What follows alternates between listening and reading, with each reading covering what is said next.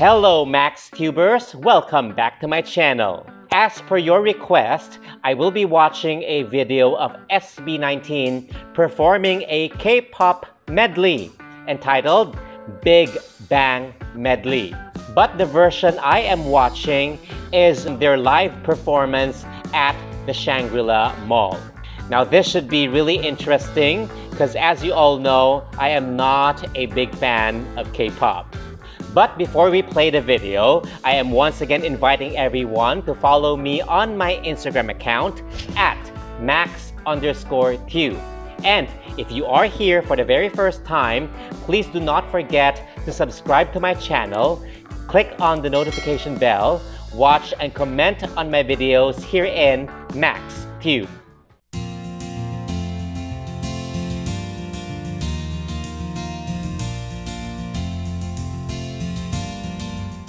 As usual, if you want to watch the entire performance, the full video without any interruption, without my comments, please head to my description box and I'll put the original video link there.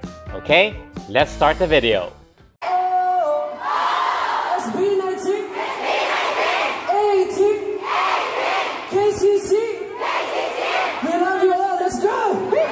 To my Max tubers out there, what is KCC?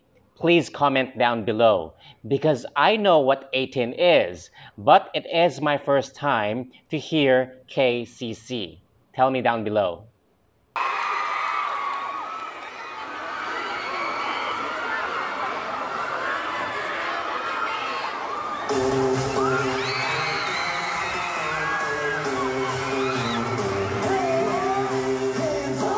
Okay, this song, this first one, based on the description of the original video, uh, is called Bang Bang Bang.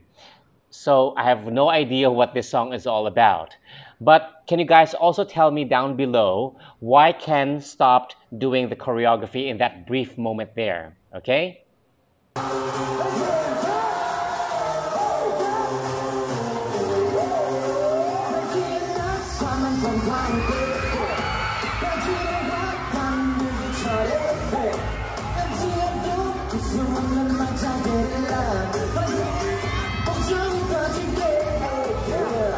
Number one, I love the snappy moves. Their energy level, as usual, is great. Number two, I like how Josh was pumping up the crowd, which I believe is extremely important because you want to get the audience's energy as high as possible. Once it's up, the performers can then feed off the energy of the viewers. So it's kind of um, a give and take situation. Number three, Ken actually sounds good singing in Korean. A bit nasal, but I think it's how you enunciate the words that's making it sound nasal. For instance, if I am singing a Chinese song, I will sound more nasal, a bit more nasal, than if I am singing, say, an English song. Because that's just how Chinese words are enunciated and projected. It's called nasal resonance. So same goes for Korean, I guess.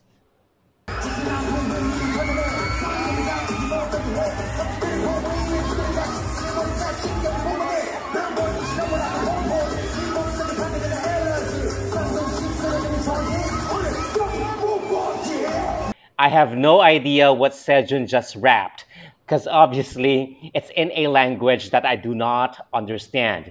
But all I can say is his projection is great as usual. So what's new? He always gives us um, great intensity every time he performs.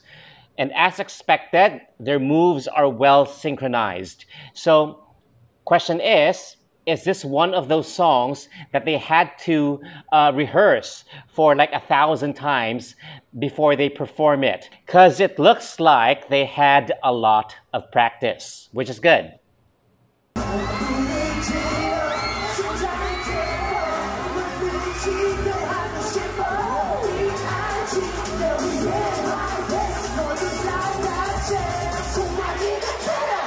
All right, you guys have to correct me down below, okay, if I'm wrong.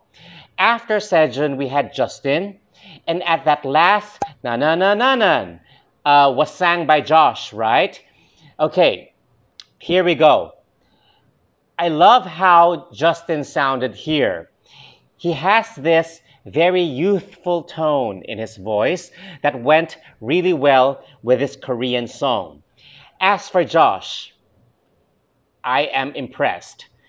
For him to hit that high note and still sound good, I never thought his voice can go that high.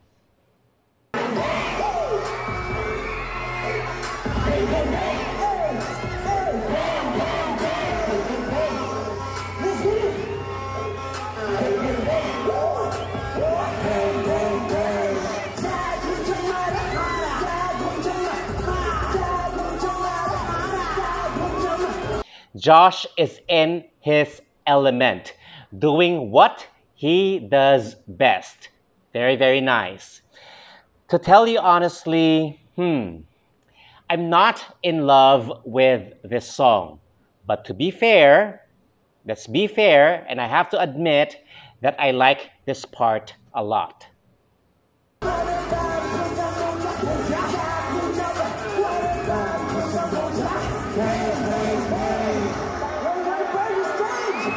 Do you guys remember one of the comments that I made before? When I mentioned I'd love to hear uh, these guys do overlapping raps with different voice textures. This is it. This is what Josh, Ken, and Sejun just did. I know they also did um, a rap like this in Bakit Ba Ikaw, but that sounded more like singing to me uh, than rapping, uh, since they were, at the time, following very specific note patterns. Um, if I remember right, a third higher and a third lower. So that's why I'm considering that as more singing than rapping.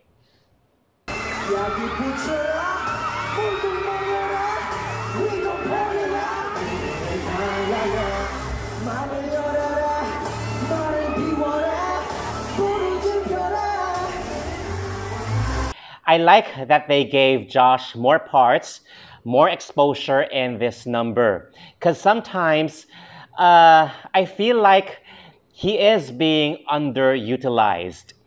Or maybe because there are more rap parts in the song. So that's why he has more parts. Moving on.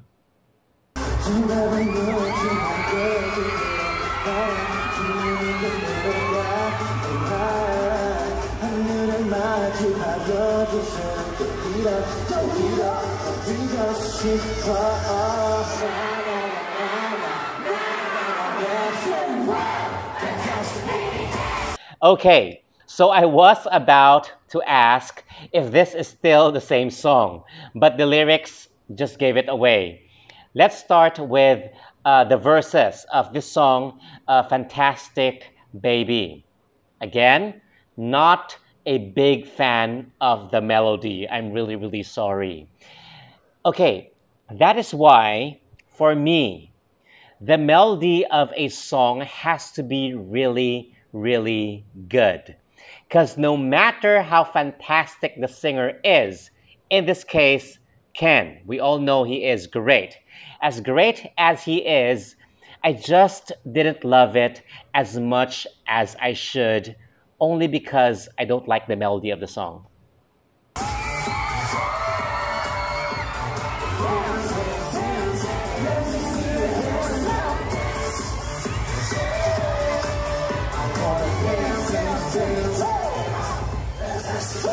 Now, this is a different story. Okay, I like the chorus part but primarily because of their amazing choreography and contagious energy. As expected, they are very in sync, and all of them are giving 100%.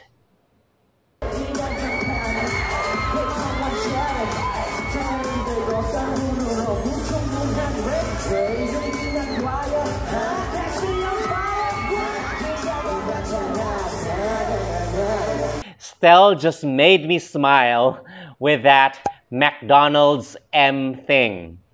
But anyways, I just want to say that I really love it every time Josh and Ken are rapping together because they really sound good. They really sound good together. I love the layering of their voices.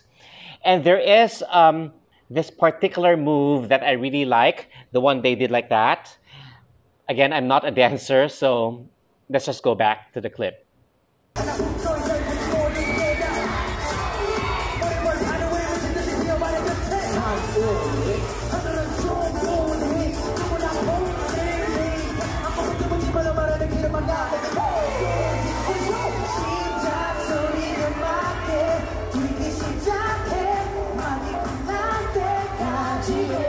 Not bad. I like this part, um, but mostly because of how Sejun performed, not by the merits of the song itself. His growl, his vocal intensity were on point. Add to that uh, the low notes of Ken that created an even fuller sound. And that's uh, the layering of voices that we are talking about.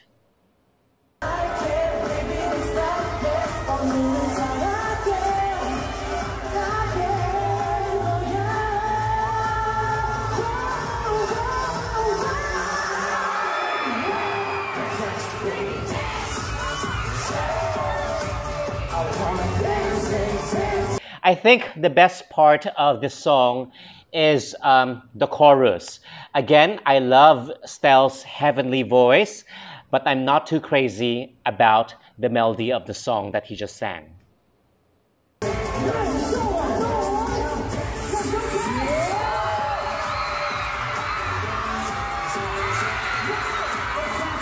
Now that was simply awesome. From the slow-mo to the cartwheel to the backflip.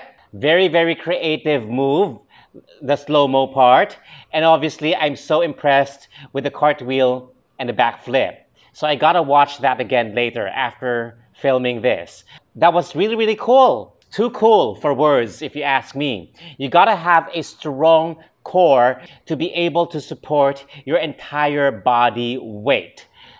Mind blowing. Let's continue.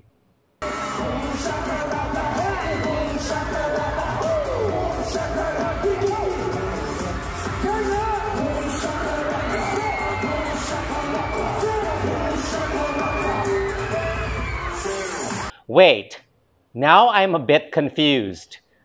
Since when did Boom Shakalaka, is that correct? Boom Shakalaka become Korean? But in fairness to them, it did catch my attention. Now, I also like to say that I love the audience interaction that they did here, the audience participation, which is very nice. Audience interaction is always good in my book because um, in essence, you are telling the crowd that this performance is not all about me, but it is for you.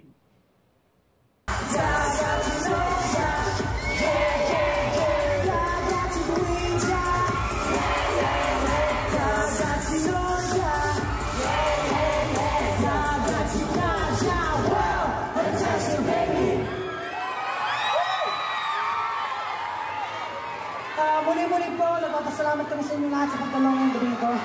Um, rin kami ng pamagin sa mga technical problems na nangyari. Of course, uh, today.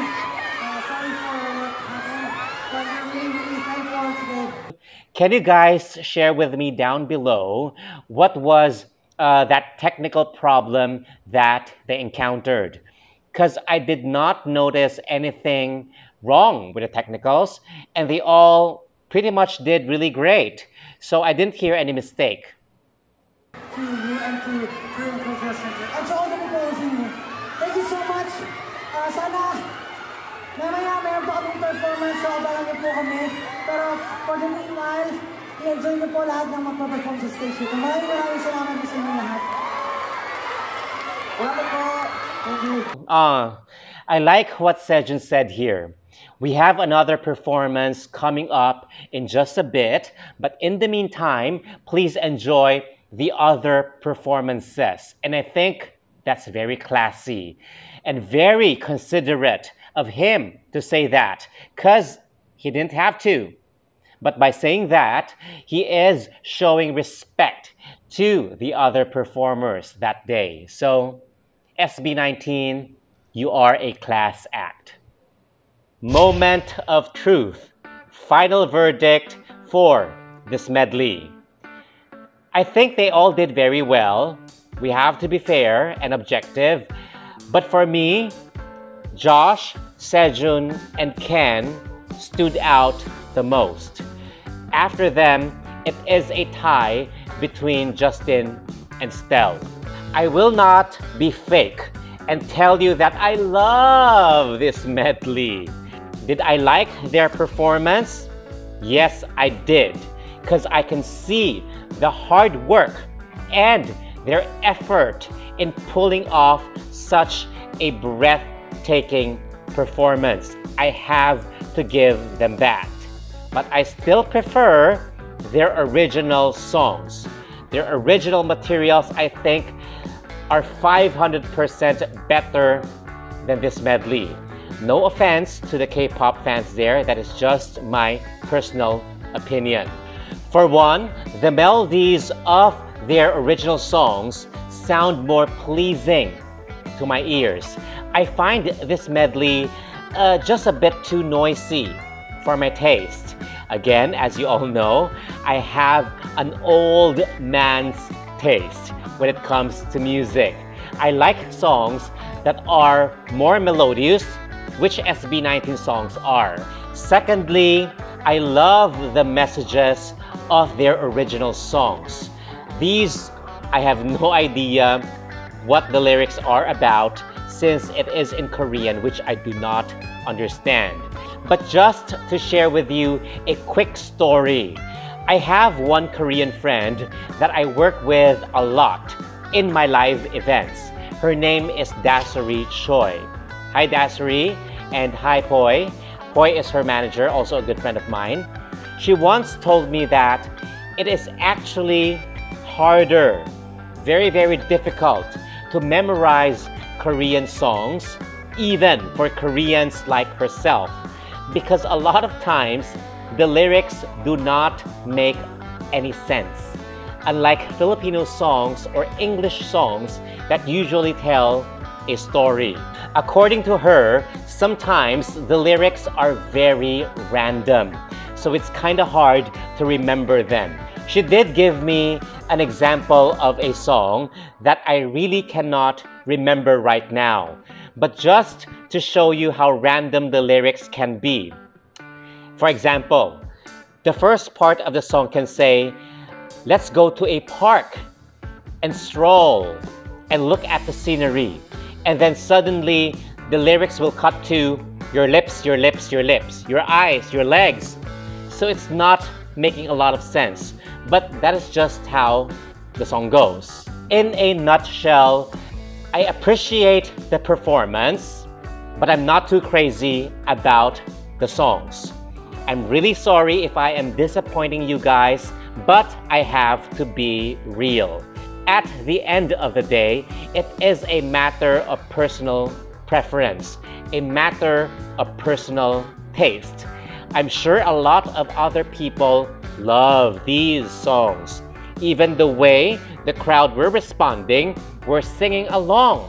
You can tell that they love these songs. Or perhaps it is just a generational thing, meaning I'm just having a hard time accepting the new sound. So what are your thoughts about this medley? Please comment down below. And if you like this video, please give it a thumbs up. With that, thank you all for watching, and please don't forget to hit subscribe, click on the notification bell, watch and comment on my videos here in Max Tube.